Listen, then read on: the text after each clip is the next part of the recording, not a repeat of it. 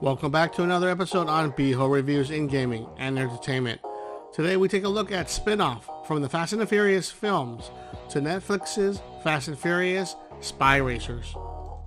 Directed at a younger audience, DreamWorks Animation took over for this animated spin-off and created three seasons that featured Dominic Toretto's cousin, Tony Toretto, and his gang in helping a secret government agency in stopping different gangs to criminals across the world.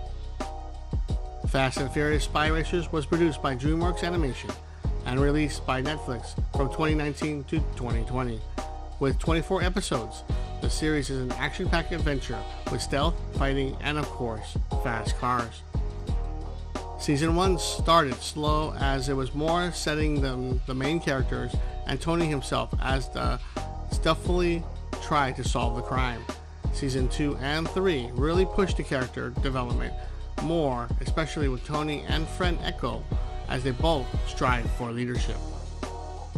The writing and pacing are done well as there is plenty of action and whimsical banter between all characters that will do well with a younger audience where the action will appeal to the older crowd. The voice acting is done well, and the banter between them makes a show on the comical side, especially where the more older personalities do most of the complaining and whimsical expressions.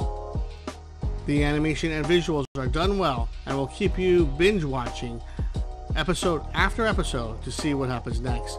There is nothing here that will catch you off guard, but everything you would expect is just done well.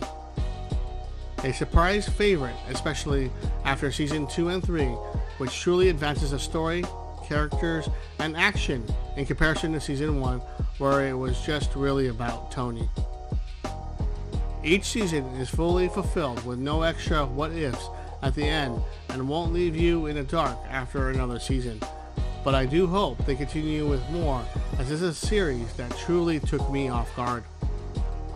Fast and Furious Spy Racers gets an 8.0 out of 10 for its lower season 1, but truly fantastic season 2 and 3 for pushing the action story, character development, and of course, its fast cars. A surprise series for both younger and older audiences alike.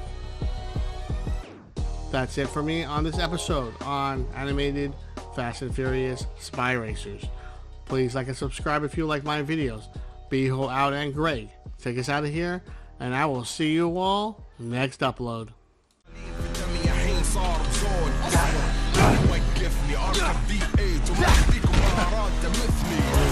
Pretty cool, huh? Not bad.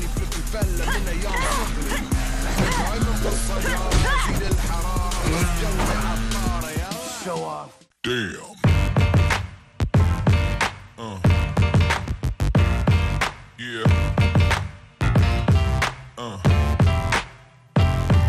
Yeah. Uh.